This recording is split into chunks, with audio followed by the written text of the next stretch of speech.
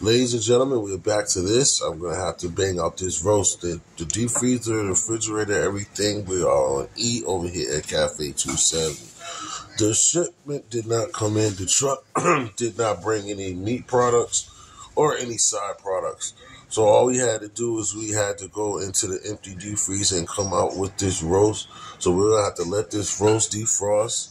And you know how we do: clean it down, season it down. We're gonna put this bad girl in the oven. We're gonna go back with some mac and cheese, and that's gonna be Monday's night dinner.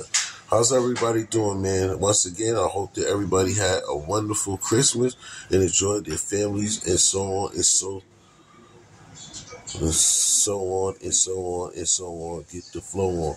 But yeah, man. So we're gonna go ahead with this this roast here.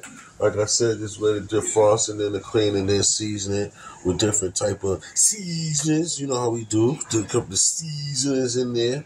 Make sure that everything goes down right, nice and tight. And uh, that's how it's gonna be.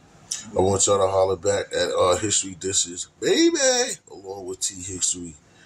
Uh, any suggestions? Shout out to um, my man Friendly Extortion over there. He's over there cooking up some marvelous shit, Chinese food and shit on a Sunday and Monday afternoon. I see you over there, buddy. Uh, shout out to my girl Yola holding it down. So uh, yeah, we'll be moving around, making sure that everything is going out on the streets. After we watch the little grown man's talk and get that incorporated and flowing.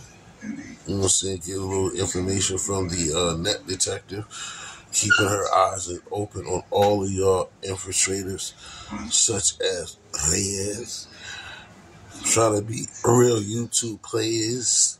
We understand. So again, we're gonna get to this thing early um, in a few, and we'll holler back at you on the seasoning process along with tossing in the oven and getting it done and seeing what it looks like when it's all complete and done. Everybody have a good evening and let's get it. Let's go roast.